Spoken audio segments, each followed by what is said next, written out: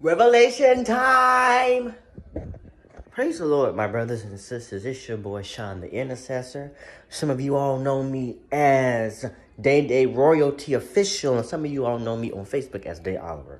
It is revelation time. So let me give you this revelation, this quick revelation, okay? I'm gonna try to talk slowly as possible. Not! But, anyways, here we go.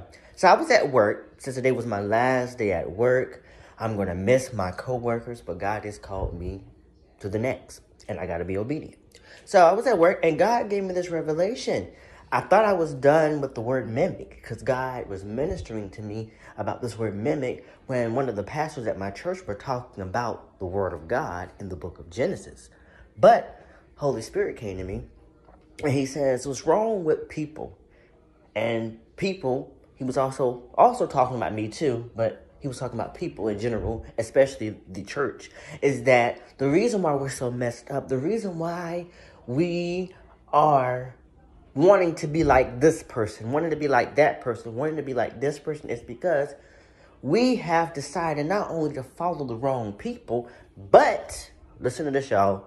We have this phone, the cell phone, the cellular device, any devices that allow us to put these people in our faces because we want to be like them. We want to have hair like them. We have we want to have a fit body like them. You know, we want to sing like them. We try to be like them so bad. We want to mimic them so bad to where we can't even accept who we really are, who God has called us to be according to his word. See, one thing that God had to get me to understand and know is that this whatever we put before our eyes on with this phone will lie to us.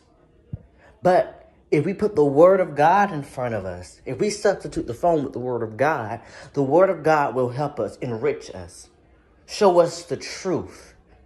Something that some of us can't handle, but we have to know it. The Word of God says that we're fearfully and wonderfully made in God's image. The Word of God has called us to live holy and righteous lifestyles. The Word of God is the truth. We can't put something else in our face as a lie but we it agrees with our flesh, so we want to how do we say it? We want to go with it. Remember, the flesh and the spirit is always toying with each other.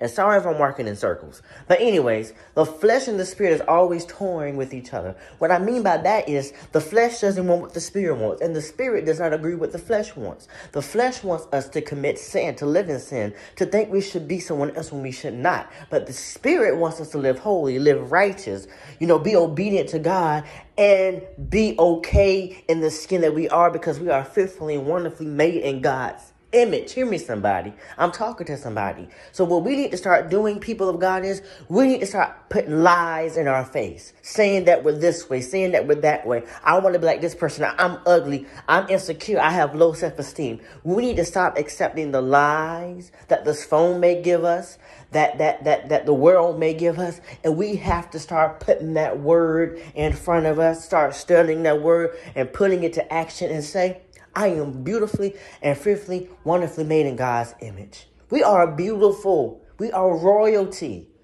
We are God's chosen possession, according to 1 Peter's 2 and 9. So why do we continue to put before us lies when the word of God is put there and it speaks volume? It speaks total truth.